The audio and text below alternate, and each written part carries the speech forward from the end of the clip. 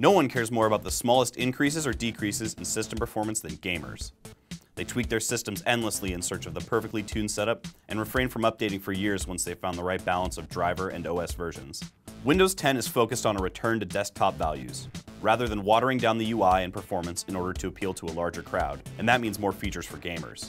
Between DirectX 12, the Games Bar, and the Xbox app, there are some good reasons to update to the newest version of Windows, and no clear reasons not to. DirectX 12 is certainly the most promising gaming upgrade for Windows 10, but there aren't any games yet that are built on the new API, Direct3D 12. The newest iteration of the underlying system gives developers yet another level of control over memory use while removing a layer of abstraction. Microsoft claims that games will see huge increases in frame rate and rendering quality while using less power than ever, but there's just no way to know how true those claims are until games with DirectX 12 make their way into our Steam libraries. The Games Bar is only responsible for a few new features that gamers will really appreciate.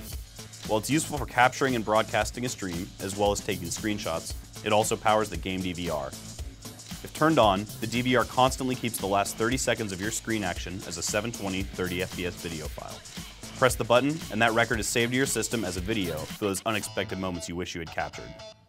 If you have an Xbox One, the Xbox app allows you to stream your games to your PC. You'll have to plug in an Xbox One or 360 controller to your system, but then you can mirror the device's output wirelessly to your monitor. Performance is good, although not nearly as nice as playing it directly through a TV. It's probably the closest you'll get to playing Halo on your computer anytime soon, but there are still some improvements to be made in terms of quality and responsiveness.